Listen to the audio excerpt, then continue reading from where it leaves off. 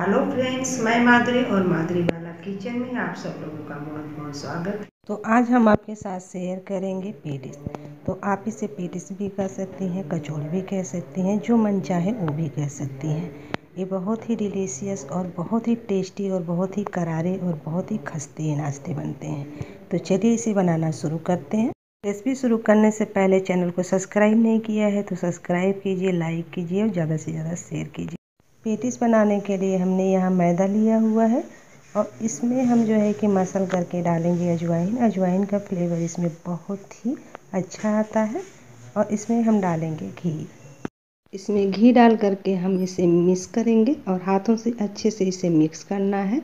और घी डालने से ये होता है ना कि हमारे जो है कि पेटिस बहुत ही करारे और बहुत ही खस्ता बनते हैं। और इसमें थोड़ा थोड़ा सा हम पानी डाल के इसका डो लगाएँगे। डो बहुत हार्ड भी नहीं होना चाहिए और बहुत ही सॉफ्ट भी नहीं होना चाहिए। और टेस्ट के अकॉर्डिंग हम इसमें डालेंगे नमक। नमक को भी डाल के हम इसमें मिक्स कर लेते हैं।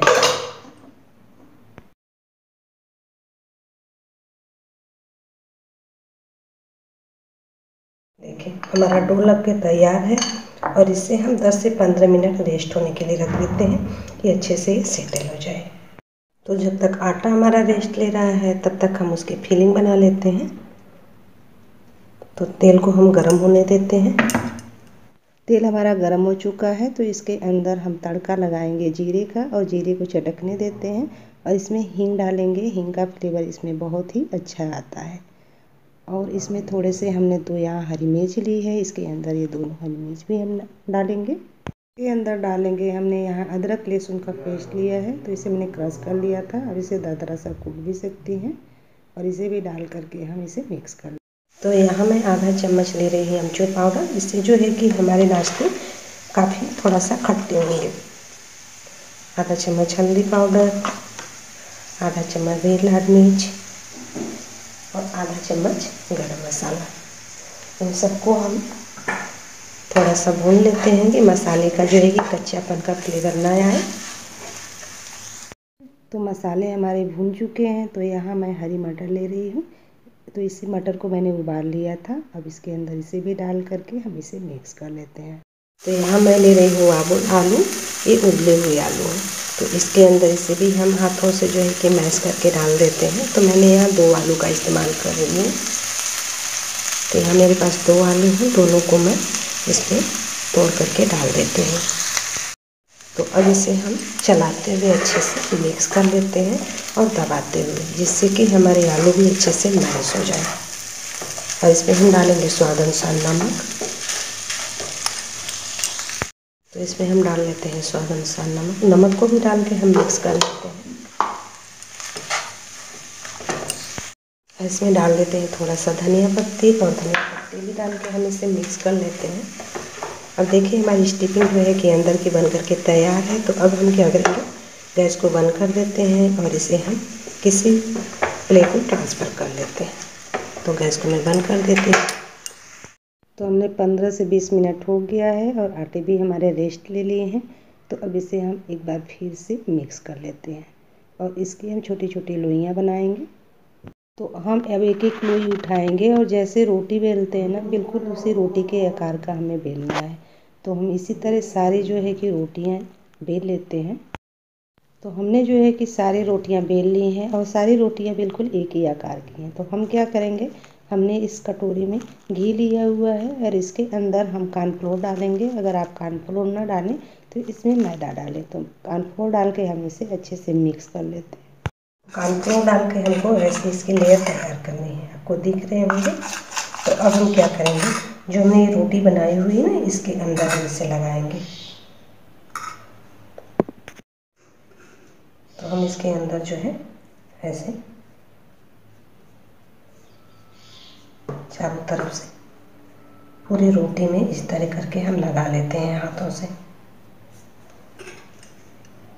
दिख रहा होगा, एक रोटी पे मैंने लगा लिया, फिर इसके ऊपर से हम दूसरी रोटी को लगा लेते हैं। इस सेम प्रोसेस से दोबारा भी इसी तरह हमें करना है।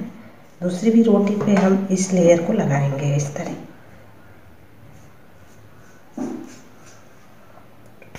तो दूसरी भी लगा लिया। अब हम इसके ऊपर तीसरी रोटी डालते हैं और तीसरी को भी लगा लेते हैं। तो आपको दिख रहे होंगे कि ये मेरी चौथी रोटी है। इस चौथी रोटी पे भी मैंने लगा लिया है। तो अब हम क्या करेंगे? इसे जो है, हम इस तरह से इसे पैक करेंगे। पैक हमें ऐसा करना है कि इसमें कोई गुब्बारे नहीं होने चाहिए, कोई हवा नहीं होनी चाहिए। इसमें। तो ऐसे हम प्रेस कर करके इसको हम ऐसे लपेटते जाएँगे, जिससे कि हम इसमें कोई हवा, कोई लेयर्स नहीं जाने चाहिए, जो किसमें भी गुब्बारे की तरह फूले। जब हम इसे बेलें तो इस बात का खास ध्यान रखा जाए।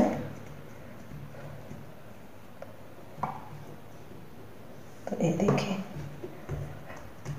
इसमें कोई हवा नहीं है, ये बिल्कुल टाइट है और हमको इसी तरह के टाइट से लपेटना है। देखिए बिल्कुल अच्छी तरह से हमने इसे लपेट लिया है। तो अब हम क्या करेंगे? इस चक्कू से हम इसे कट करेंगे इस तरह।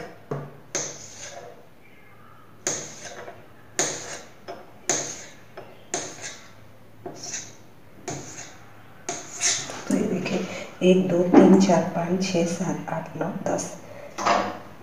ये दस है। दस लोइयाँ बन करके हमारी तैयार हुई है। हम क्या करेंगे कि हम इसमें से एक लोई उठाएँगे और इसको हाथ हाथ से ऐसे प्रेस करेंगे और इस बेलन से हम इसे बेलेंगे इस तरह।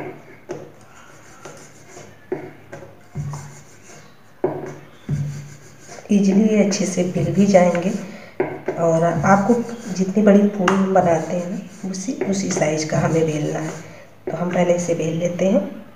तो ये देखिए, इस तरह करके बेलना है और फिर इसके बाद जो हमने स्टिपिंग बनाई है, इसके ऊपर से स्टिपिंग को डालना है, इस तरह।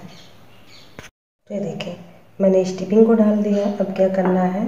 पानी हमें लेना है, नॉर्मल पानी, और इस पर हमें ऐसे लगाना है।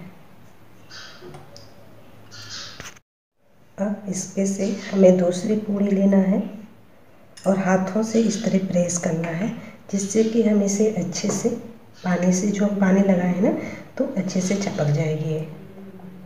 ऐसे। और फिर यही प्रोसेस दूसरे वाले पे भी करना है हमें, इस तरह। हाथों से। ऐसे। तो ये देखिए, हमारे जो है कि अच्छे से बन चुके हैं। और हम क्या करेंगे, एक प्लेट लेंगे और इस प्लेट में इसको सारे उठा करके रख लेंगे। और अब हम चलेंगे इसे फ्राई करेंगे। तो हमारे जो है कि एक बार में पाँच बन करके तैयार होते हैं और चलते हैं इसे हम फ्राई करते हैं। तो तेल हमारा जो है गर्म हो चुका है तो अब इसके अंदर हम एक एक कचौड़ी को उठा करके डालेंगे और तुरंत हमें टच भी नहीं करना है। थोड़ी देर के बाद ही हम इसे टच करेंगे और गोल्डन ब्राउन होने तक दोनों तरफ़ इसे हम फ्राई करेंगे। तो नाश्ते एक तरह से हमारे क्रिस्पी हो गए हैं तो इसे हम पलट देते हैं। और ये देखिए, जैसे ही नाश्ते हमारे फ्राई हो रहे हैं, जो इसकी लेयर है, आपको दिख रही होगी, इसकी लेयर बहुत ही अच्छे से खिल के आई है, नाश्ते के हमारे। तो दोनों तरफ़ से हम इसे गोल्डन ब्राउन कलर के होने तक इसे फ्राई कर लेते हैं। तो ये देखिए, दोनों तरफ़ से हमारे नाश्ते फ्राई हो गए हैं, और मैं इसे किसी प्लेट में निकाल लेती हूँ। और दिख रहा है ना, आपको ये लेयर आपको दिख रही होगी कि ये लेयर कितनी सुंदर आई हुई है। हमारे नाश्ते में इस तरह आप नाश्ते बना करके आप अपने घर में इसे इंजॉय कर सकते हैं। तो इस प्लेट में मैं इसे निकाल लेती हूँ और बाकी के भी इसी तरह फ्राई कर लेती हूँ। ये देखिए मैंने एक फ्राई करके आपको दिखा रही हूँ उसे तोड़ करके कि ये नाश्ते हमारे कितने करारे और कितने टेस्टी और कितने क्रिस्पी बने हुए हैं। और इसकी लेयरें देखिए इसकी लेयरें भी बहुत ही अच्छी और आपको दिख रहा होगा इसकी सारी लेयरें बिल्कुल खिल करके आई हुई है। और आप इसे चाहें तो टमाटर कचप के साथ भी इसे इंजॉय कर सकते हो और ये बहुत ही टेस्टी लगते हैं खाने में। तो इस तरह के नाश्ते आप अपने घर में बना करके आप इसे इंजॉय कर सकते हो। आप इसे अगर तेल में फ्राई नहीं करना चाहते तो आप जैसे इसे बिक भी कर सकते हो। और ये नाश्ते बहुत ही टेस्टी लगते हैं, बहुत ही करारे हैं, मैंने आपको तोड़ करके भी दिखाया है।